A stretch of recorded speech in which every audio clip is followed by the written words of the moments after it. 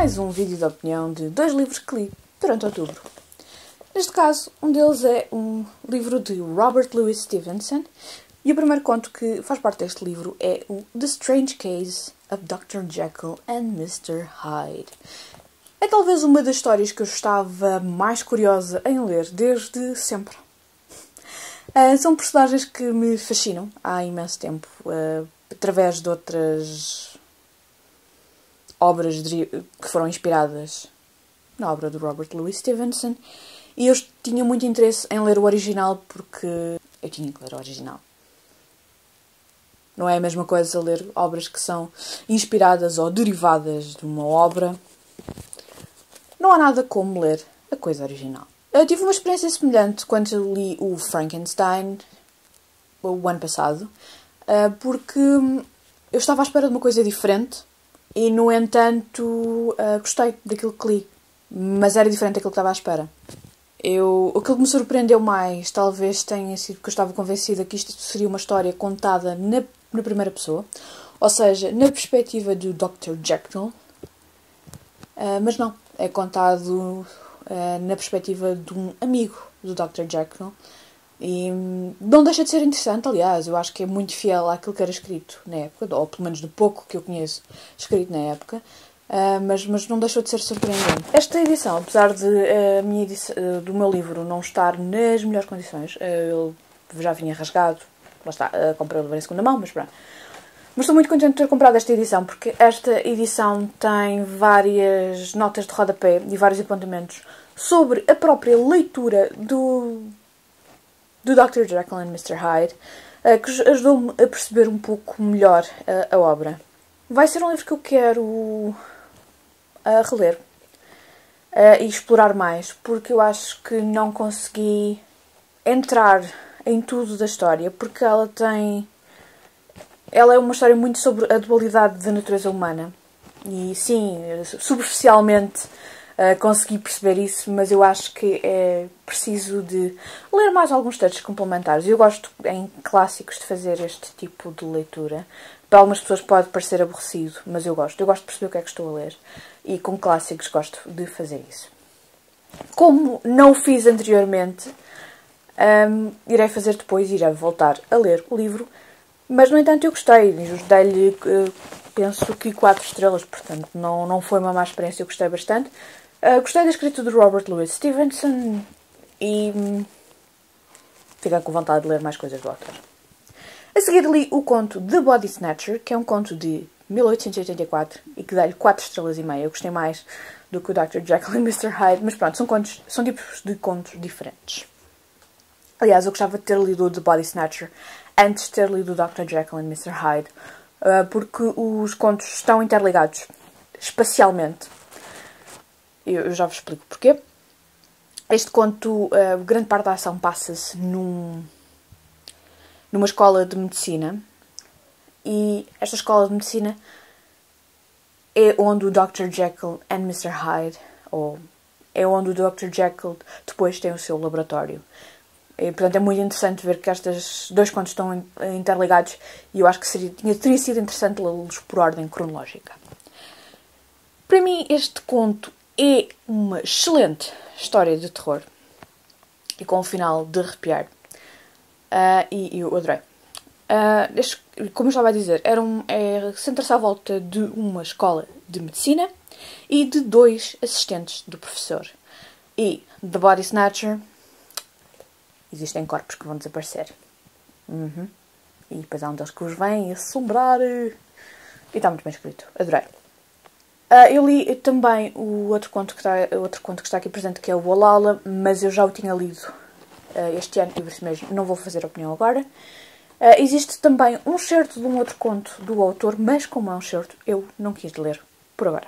The Turn of the Screw, do Henry James, conto de 1898. Ora, este conto eu dei-lhe duas estrelas e meia pela experiência que eu tive de leitura e dá-lhe 3 estrelas pela história. Ou seja, no Goodreads dá-lhe 3 estrelas. Basicamente foi isso. É uma história gótica e ao mesmo tempo uma, uma história de fantasmas. E para mim tinha todos os elementos para ser uma história fantástica. E não deixa de ser uma história fantástica. mas eu já vos vou explicar porque é que a minha experiência não foi a melhor de todas. Conta a história de uma preceptora que vai trabalhar para uma para uma casa numa zona remota e vai tomar conta de duas crianças, o Miles e a Flora. Mas assim que, que ela chega, coisas estranhas começam a acontecer e essas coisas estranhas são assombrações ou fantasmas. Eu tive alguns problemas com este conto e, finalmente, um clássico em que eu tenho problemas em ler em inglês. Que tem sido uma coisa rara. Tenho-os conseguido ler muito bem, o que me tem assim surpreendido. Mas pronto, finalmente um que me deu uh, águas pelas barbas. Porque o autor tem uma maneira de escrever neste conto, noutras coisas não, mas neste conto tem uma maneira de escrever muito própria em que a construção frásica dele, para já, eh, é como se a personagem principal, a preceptora, estivesse a contar a história e ela escreve quase como se estivesse a falar. E faz-me lembrar, faz-me lembrar um bocadinho a escrita de Saramago, porque são parágrafos muito grandes. Oh, parágrafos não, não, são frases muito grandes, uh, com, com pontuação, obviamente, mas não com muita pontuação e que são, são pensamentos. E isso torna um pouco difícil a leitura, porque no meio de uma coisa ela mete outra, fala de outra e depois termina aquilo que tinha começado a dizer, tal como nós fazemos às vezes oralmente.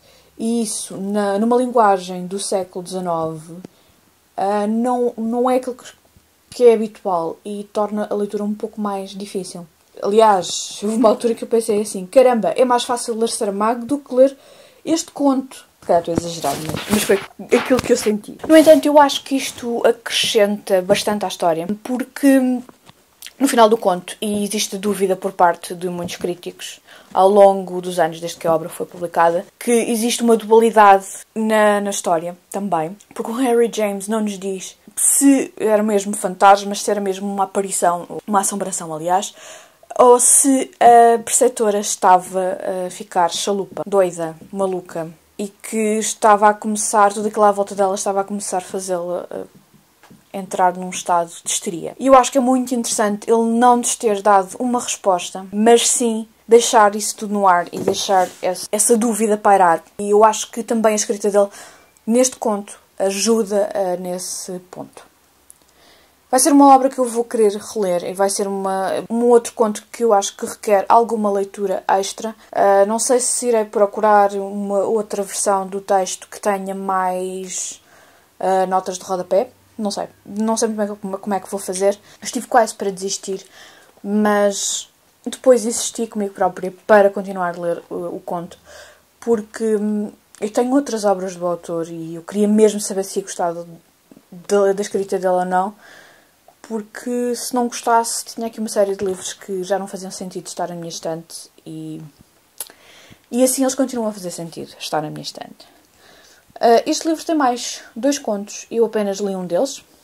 Li o The Pupil, a qual dei de três estrelas e que é completamente diferente do The Turn of the Screw. É um conto que é mais um drama, e digo bastante dramático e que me fez perceber que a escrita do autor afinal não é assim tão complicada, a não ser no The Turn of the Screw. É um conto, é uma história contada por um tutor uh, e é sobre o seu aluno, que é bastante inteligente, mas vem de uma família de intrusões. Uh, o tutor e o aluno dão-se muito bem, têm uma ligação muito forte, muito.